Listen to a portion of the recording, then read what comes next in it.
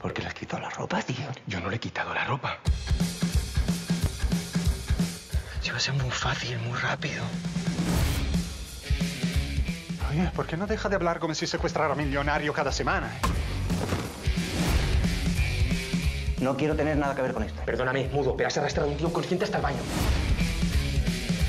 Al maletero. Este señor es mi suegro. No, tío, pero al maletero no. ¿Por qué nos miran? A lo mejor nos miran porque les estamos mirando. No nos habrán visto, ¿no?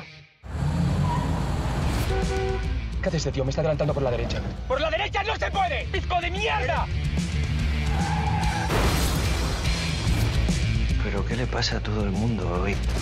Perdón, señor, ha sido sin querer. Ya está hecho, ¿no lo ves? ¿Qué quieres que lo devolvamos? ¿Qué es eso? Lo de los fundamentos del derecho. Que yo no sé si este señor es abogado. A ver, chico. ¿Para qué estabais forzando vuestro propio coche? ¡No se abre el maletero! ¡No se abre! ¿Entonces no ha abierto el maletero?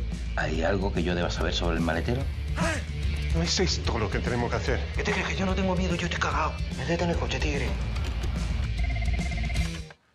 ¿Hola? Mira, hija de la gran puta, tenemos aquí al señor Larrea, así que o me pasas con la señora o te juro puerca marrana que me lo cargo. ¿Qué me dice? Toma por culo. Tu única habilidad ha sido clavarte a la hija de este hijo puta. Cuidado ahí, estás hablando de mi novia, por favor. ¿Me quieres contar qué está pasando? Me encantaría decirle que todo ha salido muy bien. Pero es que tiene usted una familia muy estúpida.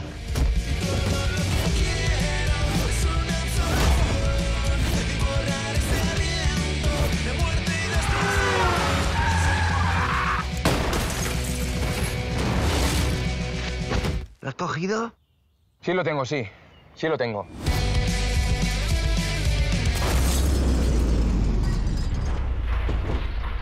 Tío, tú estás loco.